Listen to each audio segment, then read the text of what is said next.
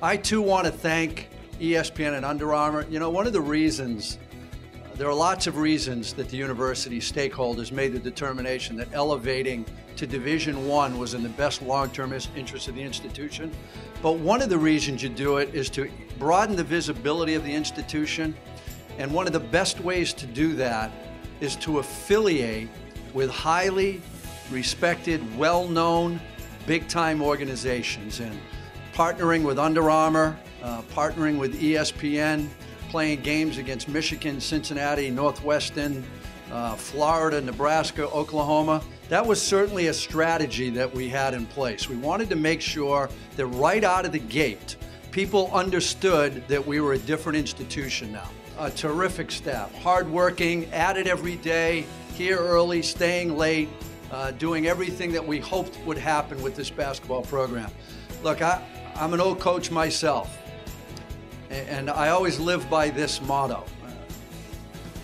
If hard work has anything to do with success, then we're in good hands at this institution. We are in very good hands. So uh, without further ado, folks, here is our first Division One basketball coach, Pat Duquette. Um, I could still hear the joy uh, in her voice when I told her um, that I had achieved uh, my biggest goal to date and uh, something I always wanted to do and worked really hard towards uh, to be a Division One men's basketball coach. I'm a Riverhawk now. I'm proud to be a Riverhawk.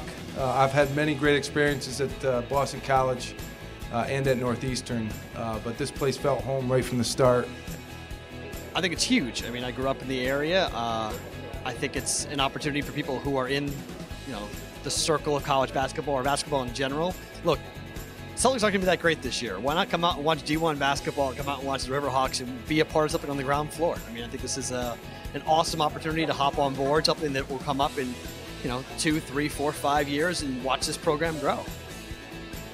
I think Pat Duquette's going to be an amazing addition to this university and to this community, and I think he's the right man for this job. And uh, look, in a very short period of time, he's already sold this program to recruits around the country to come here to be a part of Lowell and bringing them in to play basketball here uh, this is going to be a lot of fun to watch over the next couple of years. I think you know it's a great thing for to be an alum of the university, but it's also a great thing for the city itself. Being from Lowell, uh, it was something that uh, myself and, and, and Lowellians as a whole are very very happy here. So you know, right now is the time. Uh, you know, and the alumni base I think is is a lot broader in this area than people realize, uh, and it's critical for them to come around and see what good things are going on. I mean. I, you can follow Riverhawks basketball when they play at Michigan Friday, November 8th at 7 p.m. at GoRiverhawks.com or on the ESPN Riverhawk Radio Network, ESPN 900, ESPN 1250, WSMN 1590, and 980 WCAP.